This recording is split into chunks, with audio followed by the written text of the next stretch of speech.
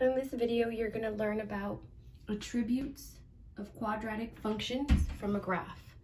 So here are some examples. A quadratic function can be written in standard form. f of x equals ax squared plus bx plus c. You've seen this before when we factored. f of x is the same thing as y. a is a number, is a co coefficient of x squared. b is a coefficient of x. c is your constant. Some examples of quadratic functions for equations are going to be x, f of x equals x squared, which is the same thing as y equals x squared. a of x equals negative 6 parentheses x plus 2, close parentheses, squared minus 4. So what you're going to notice in all of the equations is all you're looking is for x to be squared or the variable. So sometimes you're going to use an application, and here you have a different function notation h of t equals negative 4.9 t squared plus 9.8 t plus 28. So as long as x is squared, it is a quadratic function. For quadratic functions, they have u-shaped graphs, which are the same as parabolas. So your parabola can open up or it can open down. So it can open up or it can open down. You will never see it sideways because if it's sideways, it's not a function. The domain will be the set of all the x values, and it's the independent variable. The range will be all the set of y values, and it's the dependent variable.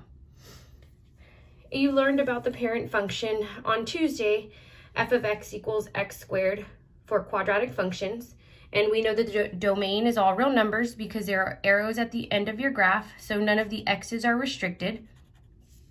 Here, the vertex is going to be at 0, 0 which is the highest or lowest point in your graph. And the minimum will be the y value from your vertex. So y equals zero. It is a minimum because your graph is facing up.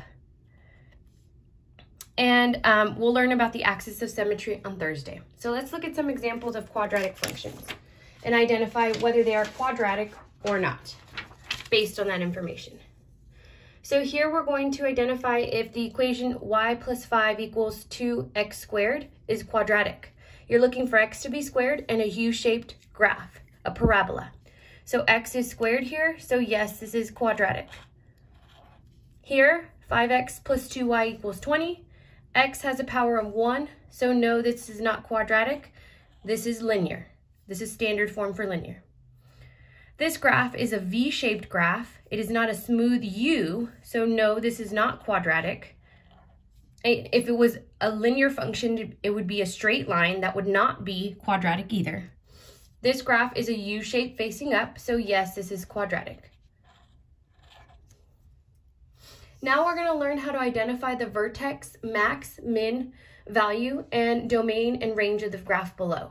So we looked at domain and range on Tuesday. Today we're going to learn about the vertex. The vertex is going to be written as a point, and it's the highest or lowest point in your graph.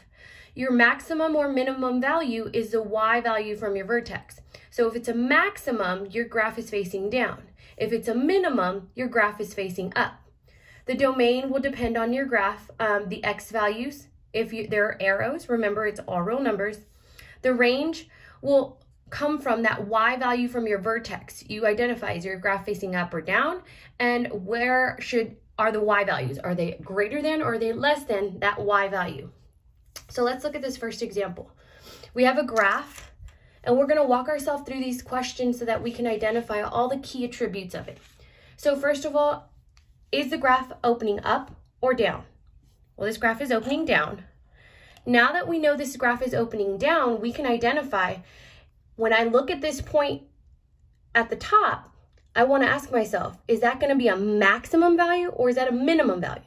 Well, if your graph is facing down, that is the maximum value. Since it's a maximum value, we need to identify what is that value. So you always know the maximum is going to be the y value from that vertex. So here, y equals 5 is the maximum. Your vertex your vertex is going to be a point every single time. It is the highest or lowest point in your graph. Here, the highest point in my graph is going to be at 2 comma 5. So 2 comma 5 is my vertex. The domain, I look at the x values, and since my graph is going on and on in both directions, there are arrows at the end of my graph, I know that my domain will be all real numbers. And my range, well, my range will depend on my vertex, that y value from your vertex. So when I go to the top of my graph, my graph is facing down, so I'm including all the values below positive 5. So all the values below are less than. So range is going to be y is less than or equal to 5. That 5 is the y value from your vertex. So look what that vertex does. It sets up your max or min value, and it also sets up your range to help you identify um, where that starting or ending point is, okay? Or value is. Let's look at another example. This graph is opening up. Since this graph is opening up, we know that we would have a minimum value here. So the minimum value, the lowest point, the no lowest number in our graph on the y's would be at negative 1. So y equals negative 1. And the vertex is an actual point. It's the highest or lowest point in your graph. So here, the lowest point in our graph, which is the minimum, would be at positive 3, negative 1. So our vertex is positive 3, negative 1. Your domain in this example has arrows at the end of your graph. So that means the x values are not restricted. It is all real numbers.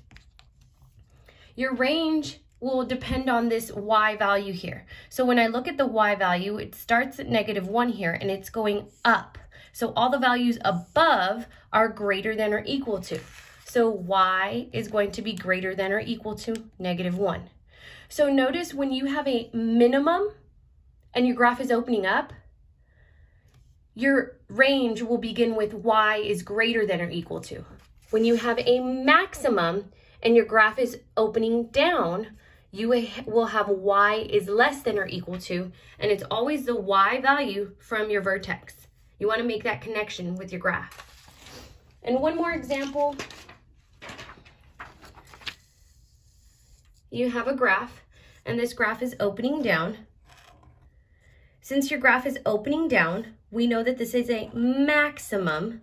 So you want to ask yourself, what is the maximum value for the y's here? That's at zero. So your maximum is y equals zero. Your vertex in this case is the highest point in your graph. This point actually falls on the x-intercept. So this point's going to be read as 2 comma 0. x goes first and y goes second. So vertex is at 2 comma 0. And your max or min value is the y value from your vertex.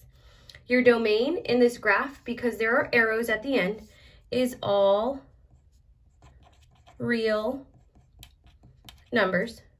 And your range, since your graph is opening down, it's going below and all the values below zero are less than, so it should be y is less than or equal to that y value from your vertex, zero. Now you can go ahead and complete slides five, seven, and eight.